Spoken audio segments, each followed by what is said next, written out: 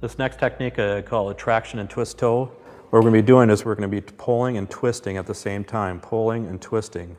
And you can perform it with each toe, like this, or you can perform it one direction and then the other direction. One direction and then the other direction. One direction and then the other direction. So just keep going back and forth with this technique then.